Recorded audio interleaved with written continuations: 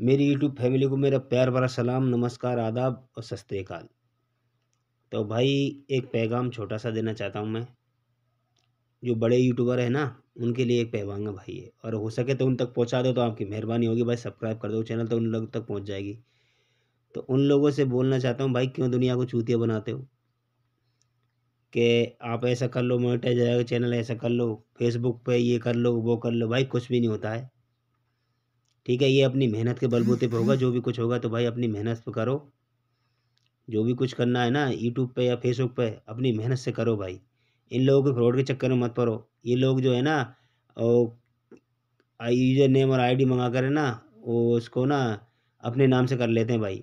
बहुत से जो ये बड़े बड़े यूट्यूबर जो बैठे हैं ना दिनों रात भूजते रहते हैं यूट्यूब पर कि भाई यूट्यूब पे इतना ऐसे करो, ऐसे मोनेटाइज हो जाएगा, ये फेसबुक ऐसे चलेगी, ऐसे, ये लोगों ने अपना धंधा बना रखा है भाई।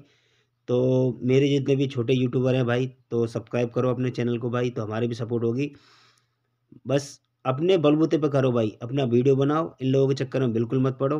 ये लोगों ने अपना धंधा बना रखा कुछ लेना देना नहीं है भाई। अगर मेरी बात बुरी लगी हो तो भाई मुझे कमेंट में बताना, आपकी बात सच है कि नहीं।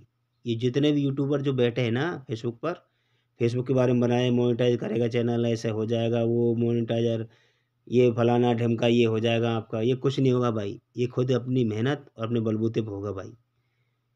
तो अगर मेरी वीडियो कोई भाई देख रहा हो जिसको अच्छी लगी हो, जैसे मुझे जैसा कोई छोटा सा यूट्यूबर होगा कोई तो भाई वीडियो को ज़रूर लाइक करेगा। इन फ्रॉड वालों के चक्कर में नहीं पड़े भाई, ये दिन और रात भूजते रहते हैं, फेसबुक पर फेसबुक पर चाहे यूट्यूब पर मैं देखता हूँ उन लोगों को, भाई तो इन लोगों के चक्कर में ना पड़े तो अच्छा है, अपनी मेहनत से करो, जो भी करना है अपनी मेहनत से अपना वीडियो बनाओ और अपनी वीडियो डालो।